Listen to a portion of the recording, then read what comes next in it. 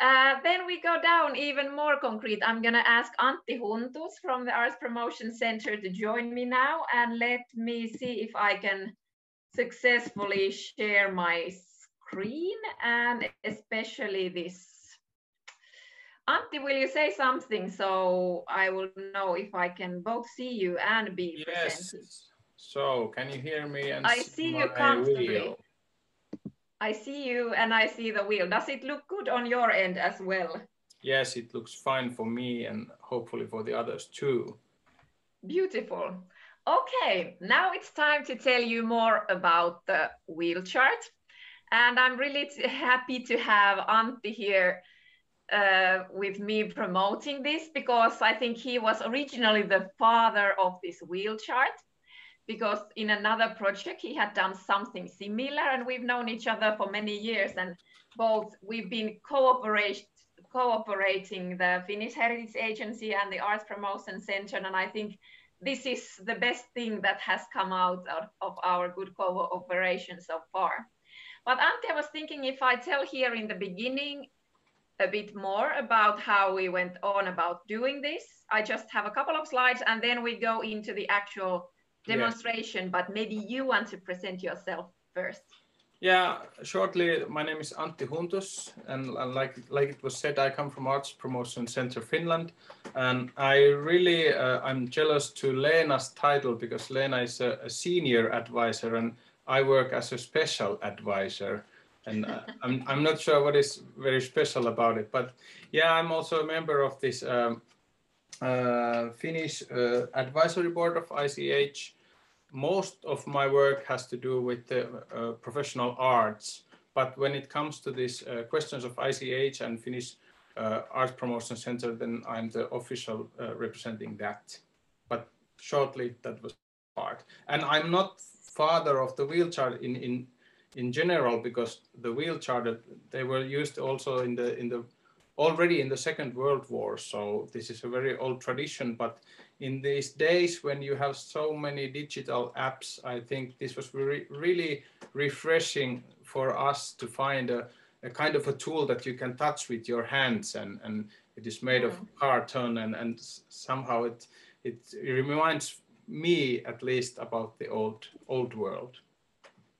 Yes, and I think Antti, we were both struggling with the fact that sustainable development is important for us. It's important personally, but also in our own work that we do. And then I think we were both struggling a bit like what else is sustainable development and flashy lines in our strategies and what could we do in concrete and we thought that if we get people together we get them discussing what sustainability is and discussing in quite a concrete way that what can I do? What can my organization do?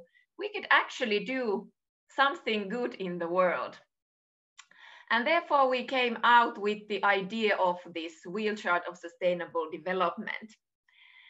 Uh, we will, I think you, most of you have it printed already. You have the copy with you, or then you have at least had a look at it in English or even in one of your own languages. So at the moment, we are, is it 14 languages now? You can see them on the screen. And my special thanks goes to all of my dear colleagues all over the world who have been helping out with the translation. So thank you, all of you, many of you present also today. And the latest additions come from Czech Republic and then Iran. So just today was finalized the wheel chart in Persian language. So we are very grateful for, for all your help. Uh, and now my slides are not changing, which is a slight problem, but I will try to do something about it. And in meanwhile, I can tell that uh, when, when developing this tool, the first thing uh, or, or principle was for us that we don't give guidelines or we don't give instruction. Instead, we give good questions because that is how people get involved with these with these processes. And and question is a, a good thing to uh, attach the new thing to your old memories and old old knowledge. So that's why this was one of the basic ideas of this tool to give good questions to people. Yes, and here on the screen, hopefully you can see the, the members and names of the team members who were behind the wheel chart and also our good partners and funders in this project. I guess it's only just a bit slow in changing, I hope.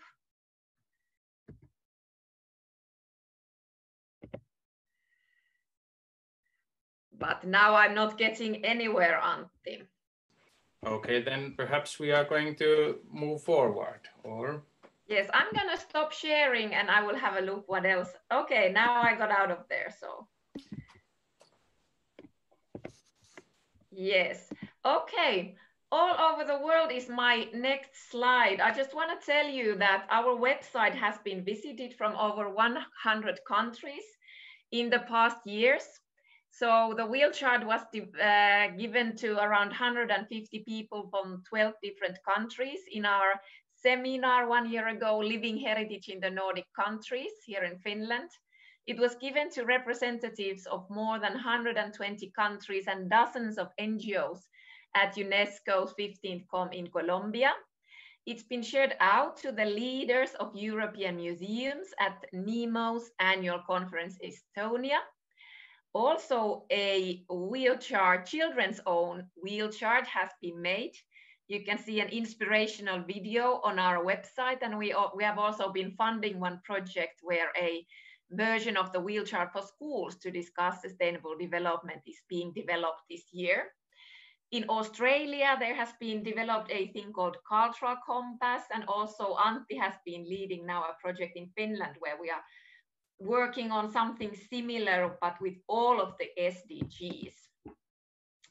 But now we're gonna go into, let me see if I can just very quickly show you the picture that takes us to where I want to take you when we go into discussing how to actually use it because dear colleagues, I am going to take you now to a forest.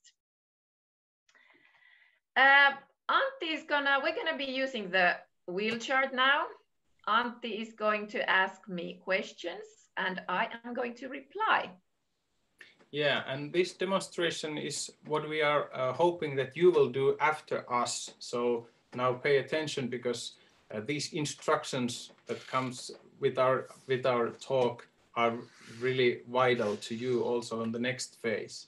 So basically, one of you is going to be the one who asks questions, and the other one here, uh, Leena, is going to be the one who is now analyzing the activity she has chosen. But to do it simple, we follow the rules that are printed here on the compass. So, Leena, uh, can you choose now? I think you have already done that, but can you choose a living heritage phenomenon or activity that interests you? Well, because it is autumn now, and one of my favorite things in the autumn is to pick mushrooms. I was thinking of taking you into the Finnish forest and to talk about picking mushrooms. Okay, then I'm going to ask you one, one question that is not here in this compass, but what interests me now that what kind of a role are you going to take as a, as a mushroom picker? Are you representing yourself? Are you a practitioner or are you perhaps a member of a community of mushroom pickers or uh, are you representing perhaps an entrepreneur or company that uh, sells mushrooms? What is your role? Yes, I mean, naturally, I am a practitioner myself, but I thought in today's session I could play a little, a role play, and I could have the hat of a local mushroom NGO because we have such things in Finland. There's a national NGO for mushroom pickers, and uh, but there are also several regional and local associations. And I think for today's audience, Antti, it would be quite useful to see how this can be used in an organizational context. Okay, so yeah, accept. That's my role today. Accepted. Now, Leena, if you look at the compass and the outer sleeve of the compass, you will find their titles or directions uh, that are based on these four pillars of sustainability. now take a close look and, and what uh, topic now interests you the most? Where would you like to go? There are things that concern society, things that concern economy, uh, things that concern environment and culture. But the topics, mm. Now, what would you like to choose? Uh, I would like to discuss about accessibility, Antti. Okay. Now I will turn also accessibility here in my compass and, and there I find three questions. And now first one goes to Leena. Is this activity open and available to all? Well, that's maybe the most beautiful thing about mushroom picking here in Finland. I mean, it's it's a big country. We are not that many, five million, but um, maybe you know that mushroom picking is a very um, it's a big hobby in Finland. It's actually more than 40% uh, of Finnish people go to the forest and pick mushrooms every year. And we have uh, forests all around, and we have this thing called everyman's right. So basically, anyone living or even tourists in Finland, they can go anywhere in the forest, no matter who owns it, as long as it's not on anyone's yard, but they can go there and pick it and so basically, it really is open and available to all. Maybe if you live in a bigger city, you need to take the bus and drive somewhere, but that's also possible. I mean, I live 10 minutes from the capital, uh, Helsinki, but you can take a bus for 30 minutes and then you're already in a in the middle of nowhere uh, or at least in a place where you have mushrooms. Mm. So yes. Oh, okay. Then I'm, I'm going to add my own question that if if, if people or, or one has uh, difficulties with moving, movability, are there any possible for a person, for example, in a wheelchair to pick mushrooms or be in part? Does your uh, community arrange uh, field trips or help people with, with uh, moving disabilities? Well, yes, I mean, basically, in principle, it is possible when you look at the routes where people can go in national parks, for example, here close by, there are such routes where you can go on a wheelchair, for example, no, not on a wheelchair, but on a wheelchair. So you can go there, and if you have a mushroom close by, you could go. So basically, it is possible, but of course, it, you are right. It poses difficulties. You need to be able to go to the forest. Okay. Now the next question goes: uh, How does this picking mushrooms uh, build a sense of community, or how they promote participation? Well, usually it is, I mean, such a hobby that I would say that most of the people do it as a family, or I learned it from my parents. We used to do it when we were, when I was a child, but it's also done quite much alone. So, especially the older people, they go on their own or then with, with their, um, with their spouse or something into a forest. But if I think of my NGO, I think we for us, it's important to get together. We meet um, regularly, once in every two months, but then especially in the autumn time, also in the springtime when there is the Korvasieni season, we meet, but we especially meet in the autumn time when the when the mushrooms come up from the ground. And for us, it is really important to get together and uh, organize these different kind of events and also teach other people to to, to learn to do it? Well, basically, you, you already answered a little bit to this next question that what is the role of different genders in the activity? Do you want to sharpen it a little bit or, or comment it? Well, this is definitely such living heritage that is open for for both bo for all genders. So it, it is really popular both with men and women here in Finland. So I think that's also special about this this tradition. Okay. It's even called actually, is it in, in Russian language, it's called silent hunting, mushroom picking. So it is really for the hunter gatherers from, from all genders. Yeah. Okay, now we have uh, explored through one topic. And now, Leena, you got the idea of what, what the one topic contains. What topic would you like to choose next? I would like to talk a bit about money, Antti. Oh, that's a it's a hard one. Well, it is a bit hard, but I think it's also related to our work. And though, although I am volunteer in my work in the NGO, it's I think it's an interesting topic. Okay, uh, then I suggest that we go to the economic equity area. You can also you can choose, but this is my strong suggestion. Okay, we can do that. because the first question here is, what is the role of money for the activity? Uh, as such, I mean, when you think about it, one can go to the forest and pick up mushrooms. Of, of course, it's free food. It's free protein growing happily in the forest. And it's only like 10% of the whole lot of mushrooms that is being harvested every year. So most of it stays in the ground. But it is also possible to, to make money with it. And uh, every autumn, there are such people who go and pick them and uh, it's not really here in the capital region, but in more remote areas, there are such places where you can, if you really love the silent hunting, you can go out and pick a lot of mushrooms and you can take them to this place and even sell them. So to earn some more living for yourself.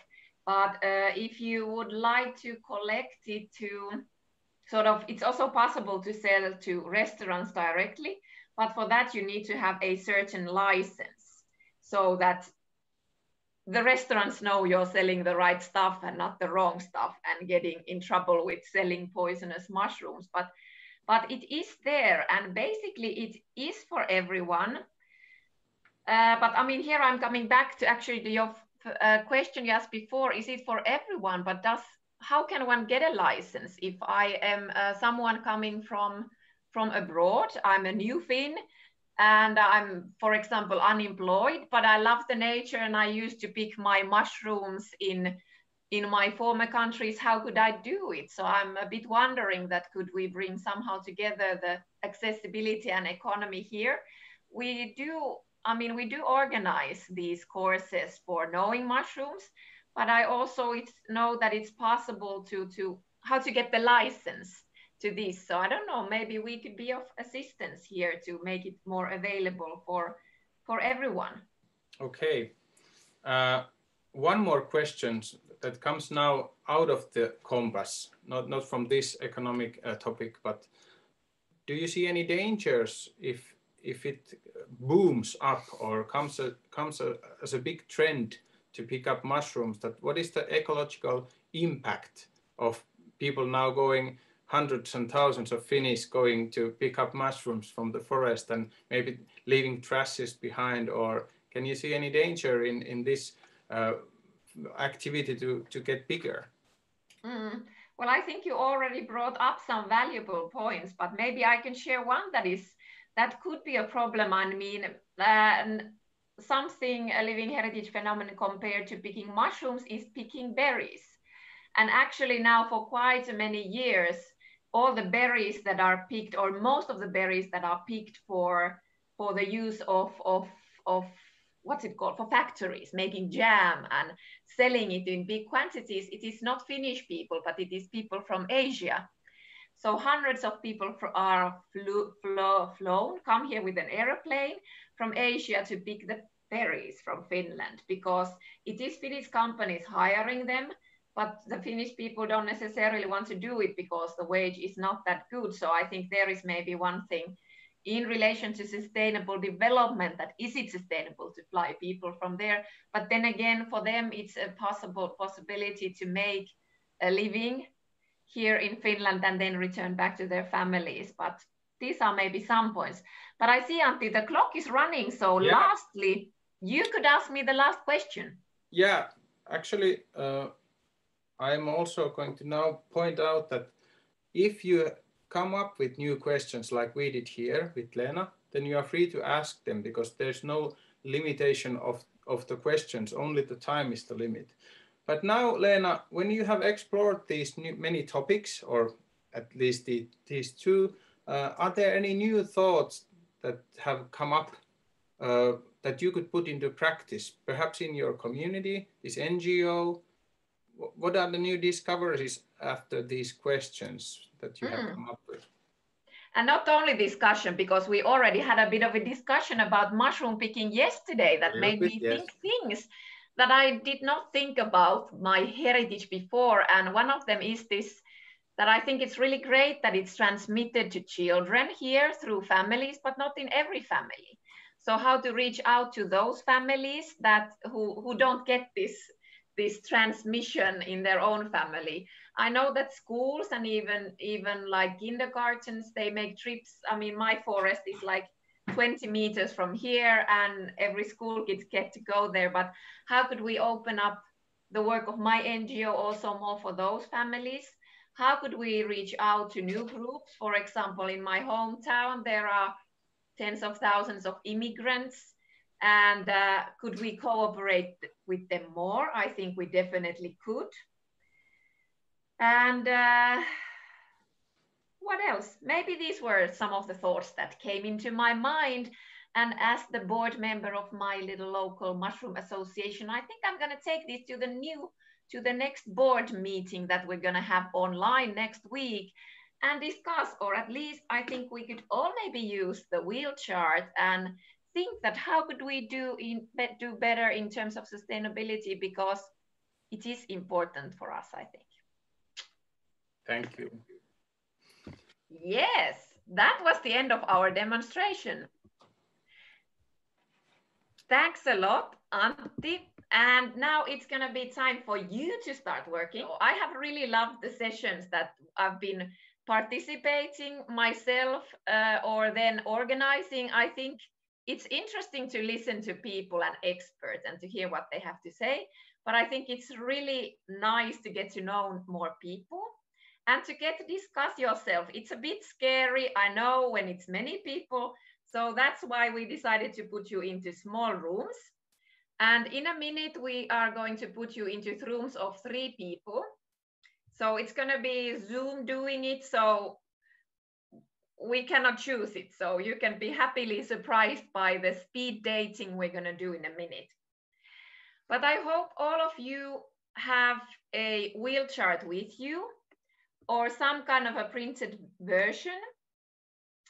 If not, I am still going to uh, put on the chat a link to the PDF. It's an easy read version. So basically the, we, the things you saw a minute ago in my PowerPoint presentation. So you can open it up in your iPad, in your computer or something so you can have an easier look. And we ask you when you go to the room, if you need to get a cup of coffee or run to the restroom, do it in two, three minutes and then be quickly in your room. So so people see that you're coming. Uh, we need one person, have a quick exchange of what kind of a intangible cultural heritage form you would you like to discuss. And it is about your expertise. What is your work? Or is it related to your work? Is it your hobby? Is it some case you're working on in your, but choose something, be it craft, singing, nature, whatever, you know this field already. So have a quick discussion. What's it going to be and who is, maybe you can say like one or two things that you know well, that you're an expert in and you would like to discuss about. Then choose one element. It's possible if you are quick, you can maybe have two elements discussed, but I think a half an hour that we're going to do, or is it 25 minutes, Antti? Uh, so you'll see how you do it. But one is the one who is answering the question, then pick who will be asking the questions. So you can use the questions from here and make up your own questions. And then the third person is going to be an observer. We were thinking of doing this in pairs, but in case someone is lost, doesn't get a camera working or the sound working or doesn't have a compass, we thought it could be technically safer that you are three. So the third person could be an observer. So you can see what is happening, you can make notes. You can also ask questions, or if you know the thing, if you have sort of a, like some kind of a crafts form, you can also contribute. But, but someone asking, someone answering, someone observing or filling in. And we hope that the observers would also make some notes because we're gonna uh, send in the feedback form quite soon after this event. So we would like to hear your observation. What's happening? What are the questions? What is working? What is not? What is difficult or something? So are you clear with the task? Thumbs up. Okay, people are slowly coming back. Uh, put your thumbs up if you got into a room and you managed to have some kind of a conversation with someone about intangible cultural heritage. I see some thumbs up. I, th I think I see almost every thumb up. Could I ask you to, to share something in the chat to mention a bit about the element, what you were, it, it would be nice to see a bit just very quickly, like what, what was the element you were discussing about. And when some of you are discussing that, I would very much like to hear about your discussion. Some points that you could break, bring up and preferably something about the tool. I bet there would be myriads of interesting information we could share on the actual content of tangible cultural heritage. Paula, will you do you do a bit of muting there? So, but uh, maybe focusing on the tool. So in the chat, share the living heritage elements you discussed. And then it would be very nice to hear something. Is it Dita saying that I want to share my experience? Put your microphone on, Dita. And so you're welcome to maybe raise the Hi. Hi, Leena. Hi. Hello. Good afternoon, everybody. It's really nice to see you. I'm so happy to see you all. It's incredible. well, thank you very much for this uh, opportunity. It's really a fantastic experience. Thank you for the, the, the wheel. Uh, we just did it in Czech Republic uh, yesterday. My colleague Jan uh, just showed it probably the first one. So we are glad to use it um, uh, in the near future.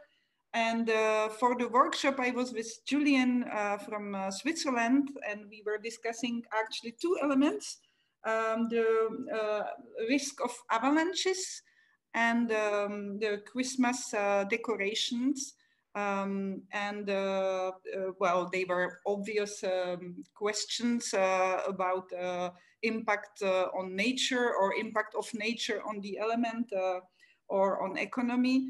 Um, and um, one maybe thought that didn't cross my mind before speaking with him uh, was the role of um, uh, priests and um, beliefs and, um, and some religious or um, yeah uh, other uh, dimensions uh, of this element uh, now I lost your voice for some reason. I don't know, maybe something with the connection, but in the end you mentioned something about the role of the priests. Yes, yes, I said that it was the, the new information for me. I was glad to discuss it with uh, Julian because it didn't cross my mind uh, that uh, uh the element can have uh, as well some uh, um, religious or um, um, some dimensions of beliefs uh, of traditional, yeah, uh, beliefs. okay, thank you, Dita. Nice to hear, and thank you once more for the translation. And I hear you're also printing it in Czechia. You yes. made made a copy, so I really look forward to hear when you will be using it, and how does that work? Some other will keep you informed. Yes, some other comments. Jet is saying, I was pleasantly surprised how much there was to discuss following one question. Jet, do you want to comment on that? And at the same time, share your experience in the Netherlands. Put your microphone on, Jet.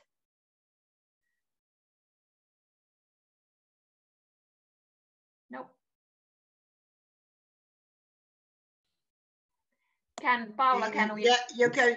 Well, we discussed a, a, tradition that I had never heard of, and I can I can still not pronounce exactly what it was. But It was, but it was in Austria after after farming the wine, which brought together drinking the first wine, but also slaughtering pigs, and it was very interesting to hear all the different elements that came together, which were good and bad, and social cohesion, uh, coming back from from different parts of the country to this festivity, but also the question, well, how much are we still connected with nature? It used to be, of course, the, the very seasonal, seasonally bound. And the comment was that perhaps we were indulging a bit more in three course dinners and we should go back to really enjoying that moment that the wine is being made and, and the season is closed and, and have a bit more an eye for the sustainability in the ecological sense of the word. It was very interesting and there was so much to say and to develop on.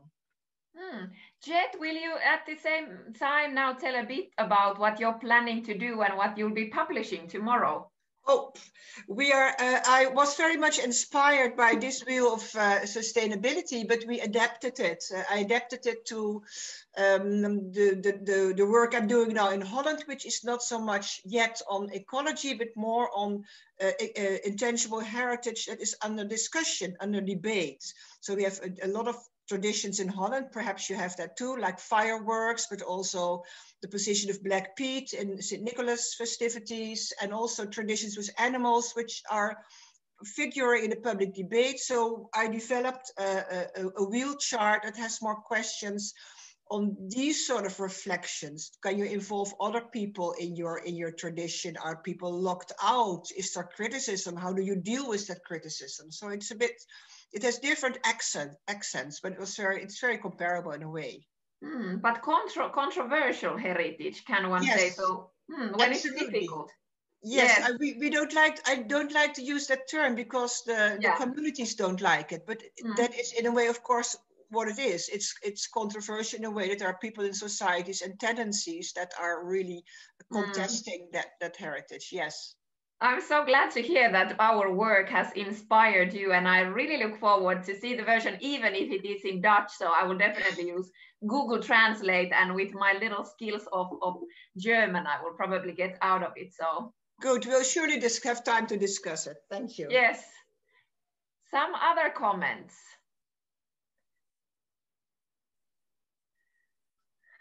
what kind of discussions did you have? And did you get some new kind of ideas? Maybe i'll point out to gabriel dechman my colleague from from austria. I mean you've done such good work in translating the wheel chart into german with the cooperation of four countries was it? Also looking to patrick and and others here so and also people from the swiss office. Gabriel how was your session with the wheel chart Um, I was in the same one as uh, Jet, yet I don't know how you pronounce it. Yes. So it was very interesting. I was the observer. Um, and I think it, it works very well to intend a new question. So it was quite natural that they started with the questions and then they continued with their own, uh, and then they came back to the wheel. And um, yeah, there was a lot of reflection going on on I think both um, sides and also the, the, the takeaways. So it was very it, it was really uh, reminded me of a coaching session in a way where the the practitioners were the clients and they reflected about their own practice. So. Mm. But yeah. I have also sort of realized that if you have a role or you have the hat, when we were we were testing this in Hanaholmen one year ago, we had a session uh, where half an hour and then another half an hour. And sometimes people were practitioners and then they were museum directors. And so that you see that when you change that role, that who you are, it looks totally different. And I remember talking with Jet in February about this, that one could actually have a session just with this and with one element, but so that one could be the practitioner, one could be researcher, one could be entrepreneur. So that would also be one way to look at one particular element. I see the hand from Esbjörn up, so maybe I give you give you the floor from Sweden. Esbjörn, did you have your hand up?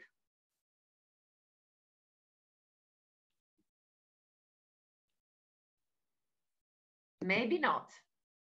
Okay, some other comments still coming up from the uh, from you guys or something that we should Antti or others to br bring up from, from the chat box?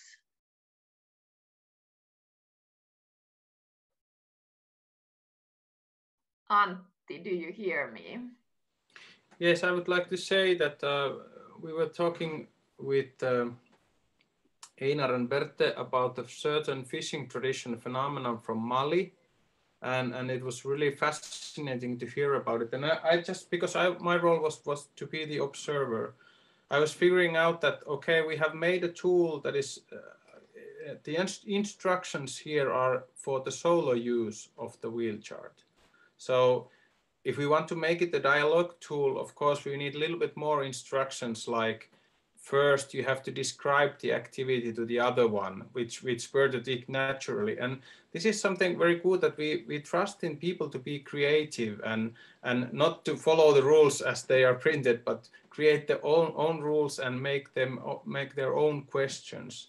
And this is very important. I think that you have to follow the story and what the other one is uh, sharing with you.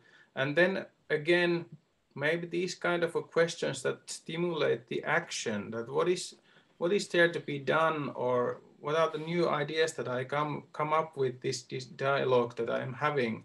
Uh, we were talking about this fishing tradition and its relation to the uh, conflict uh, solutions or or using fishing tradition as an instrument of peace. And this was a really interesting conversation that we I think we could have uh, go on with, a few hours. It was so um, interesting to, I think 20 minutes is, it's not a time enough for, for having that kind of a deep analyzing uh, sessions. Mm. Yes, Patrick, I see your hand up. Yes, uh, so we were three of us presenting uh, each uh, his item, his tradition, what, what was, was very interesting that uh, we naturally slipped. We started, for instance, we talked about nature and then we ended up in ecology. So uh, it's very uh, interesting to see that uh, in a way, uh, the, these compartments are rather didactical and in uh, practically you just in a creative way comes from one point to the other. So everything is interlinked and interwoven and that's mm -hmm. also uh, with different traditions. I mean, uh, it's we, we in a way uh, it's a whole, and here it's just like a wheel for didactic purposes. And we found it very challenging and creative. what this tool is all about. Mm, nice to hear, Patrick, and we look forward. Thank you also for you in assisting the the translation to German, but also you made your own Luxembourgish version, and I hear you will be printing it out also there. But I totally agree. I think it's a nice tool for discussing and having people sort of brainstorm around sustainability, but yet in quite a concrete manner. That right away, when I entered the discussion about mushroom picking, especially in my own language, in in in the privacy with me and Antti, sort of that you see that oh, I haven't I've done this for all of my life, but I never realized this that oh, actually there is something we could do better. So that is what we like about, and we don't think that we made the absolutely perfect questions, but we made some good questions, and it's up to the people who use it to to invent more questions. Uh, we see some comments there in the chat box, and, and now it's a bit difficult to go all of all uh, through them, but we'll have a careful look. And I thank you all. At this point, is there someone still who wants to comment on something before closing the session?